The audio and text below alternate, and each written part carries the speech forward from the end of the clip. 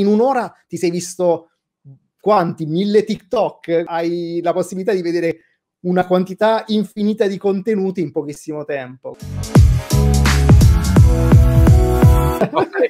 TikTok invece? Allora, TikTok io purtroppo non l'ho capito, però allo stato attuale bisogna essere... Ok, boomer. Eh? Devo, far, devo farti la domanda per dirti ok, boomer. no, ma non riesco a capire, cioè, anche perché ora anche Instagram ha aggiunto i, i reels, no? Che mi capitano spesso, ma io non li capisco.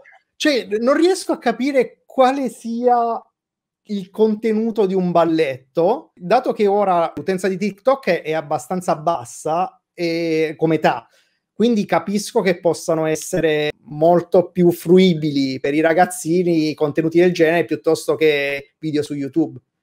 Anche Chiaro. perché ormai ci tendiamo ad annoiare rapidamente, quindi lì in un'ora ti sei visto quanti? Mille TikTok, quindi hai la possibilità di vedere una quantità infinita di contenuti in pochissimo tempo. La cosa Penso che, che... di TikTok è che mi ha portato a fare una sorta di classifica mentale, te la dico poi mi dici cosa ne pensi, delle varie piattaforme di condivisione video. Allora, innanzitutto c'è da dire che YouTube, come Twitch, come TikTok, a tutti gli effetti sono una grande categoria di social network, questo ovviamente non lo dico a te che lo sai benissimo, ma a chi ci ascolta. E come tutti i social network hanno come obiettivo quello di tenerti più incollato possibile in modo tale da venderti più pubblicità possibile. YouTube è nato per contenuti tendenzialmente medio-lunghi, perché c'è stata un'era in cui si diceva fai video da 3 minuti, fai video da 5 minuti, poi in realtà YouTube è diventato una specie di mini cinema e quindi ha privilegiato tantissimo eh, i contenuti da 25-30 minuti, le miniserie, le web series. Twitch si è evoluto creando dei contenuti potenzialmente lunghissimi perché puoi stare in streaming per ore e ore e ore, tra l'altro gli streamer che probabilmente guadagnano più denaro sono quelli che stanno in streaming come, come se fossero impiegati all'ufficio tal dei tali, quindi timbrano il cartellino alle 8 del mattino, escono alle 6 di sera, poi magari fanno la comparsata serale.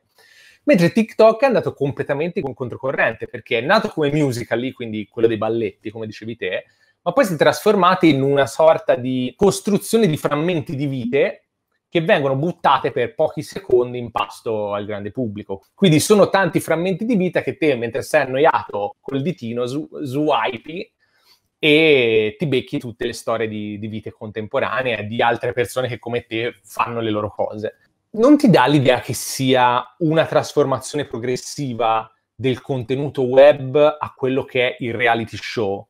Cioè la stessa trasformazione che ha avuto la televisione il vero piace di più perché è più vicino al consumatore e la stessa cosa stia accadendo nel mondo dei social network del mondo video, quindi YouTube resta un po' la vecchia televisione, mentre Twitch e TikTok il reality show. Sì, ma è, è, quello che vuole la gente. Innanzitutto vuole vedere qualcuno più simile a lui, no? Quindi te, te lo senti più, più vicino. In più c'è sempre questa curiosità atavica, no? nel voler sapere tutto quello che fa nella vita qualcuno e con, anche con Instagram, con TikTok e con Twitch puoi, puoi farlo. Chiaro, anche perché si, si fondano tutto sulla costruzione di un personal brand, cioè la faccia che sì. ci metti è quella con cui vieni riconosciuto, la community che empatizza con te ti segue e poi dopo diventano i tuoi fan, ma con un filo diretto con te, quindi non, non intermediato. No? Nella televisione c'è la televisione, non puoi chattare con... Uh, chi sta di là dalla TV, anche se ci provano con i canali WhatsApp, eccetera. Mentre su TikTok posso commentare, tu mi rispondi e quindi si crea questo, questo percorso di univoco.